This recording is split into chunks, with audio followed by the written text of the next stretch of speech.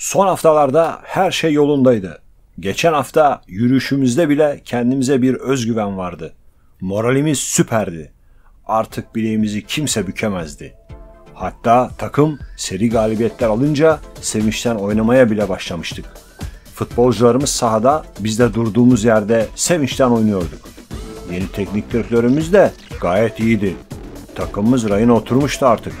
Acaba Galatasaray'ı ve Fenerbahçe'yi yakalayıp geçebilir miyiz diye düşünüyorduk. Hep böyle gidecek sandık, seriye umut bağladık. Neden böyle oldu anlamadık.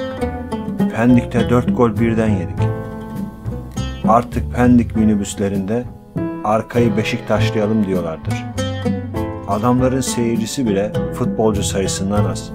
Ama helal olsun adamlara. Bükemediğin bileği öpeceksin. Elveda şampiyonluk. Behlül Kaçar